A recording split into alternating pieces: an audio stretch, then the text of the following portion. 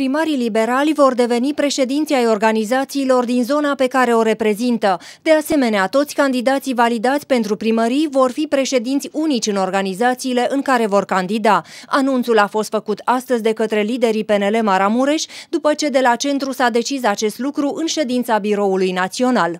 Astăzi am luat decizie în cadrul biroului județean ca acolo unde, în organizațiile, în localitățile unde avem primari, aparținând Partidului Național Liberal, acei primari să devină și președinți de organizație unici. Potrivit liberalilor, dispare noțiunea de copreședinte, iar primarii vor fi președinți. Unde primarii nu doresc să accepte funcția sau vor fi alte înțelegeri locale, aceștia vor împuternici alte persoane să conducă organizațiile. Nu același lucru se poate spune și în ce privește organizațiile județene.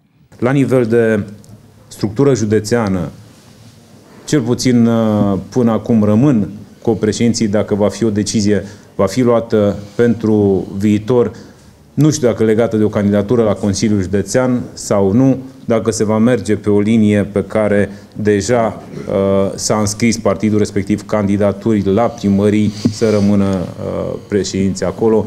Probabil uh, sau putem specula că ar putea fi una și la Consiliul Județean. Pentru buna funcționare a structurilor în teritoriu, la organizațiile județene PNL vor rămâne copreședinți.